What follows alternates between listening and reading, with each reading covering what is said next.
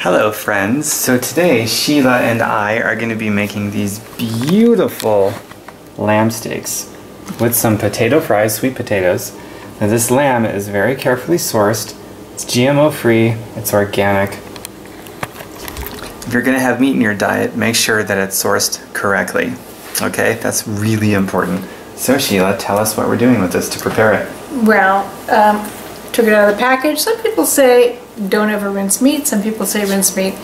I believe that I can rinse off the meat and it's going to be okay because sometimes the packaging, even in organic or grass-fed meat, might be sprayed with something that causes plastic and things like that not to stick to the meat. So I, we don't want that on our on our actual food. So I do rinse off the meat. And we're looking for meat. Um, it's great on lamb to have a little bit of fat. The fat swirls. It's very tender. Um, I use spike, which of course has its ground up vegetables and herbs and uh, it makes a wonderful flavoring for lamb. Today we're going to barbecue these. We're going to just put them on the grill. Uh, we'll make them medium well. Some people like the lamb very rare, but we're going to have them medium well today. And it'll make a very nice complement with the uh, fries that are actually now in the oven.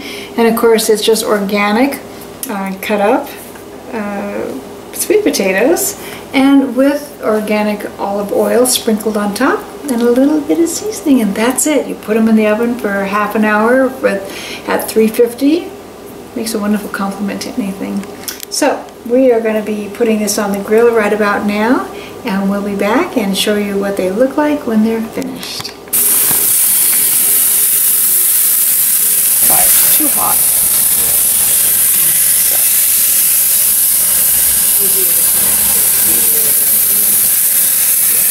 That's why I find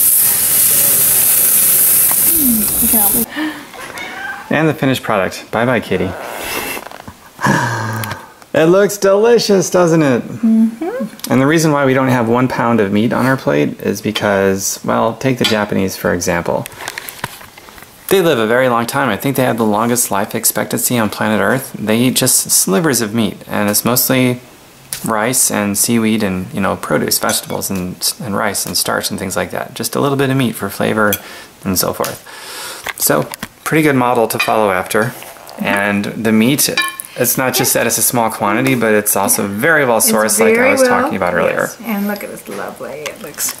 So this, this side is uh, medium well, and this side is medium rare, and some is a little rarer, but it's all good. We've got maybe an ounce, ounce and a half, and that's pretty good. Maybe two ounces. There you go. Perfect. She has a pretty awesome website you should visit. It's called truelife-solutions.com. And I've got a website called fireyourboss.xyz, not .com. We've got many vegan cooking videos. This one obviously is not This vegan. is not vegan. because some people cannot be healthy eating a pure vegan diet. And we are about helping people get healthy. So pick what works for you, and we're going to be here to support whatever works for you every step of the way. If you like this video, click the share button and share this video if you feel it's worthy. Bye everyone. Next video coming Bye. very soon.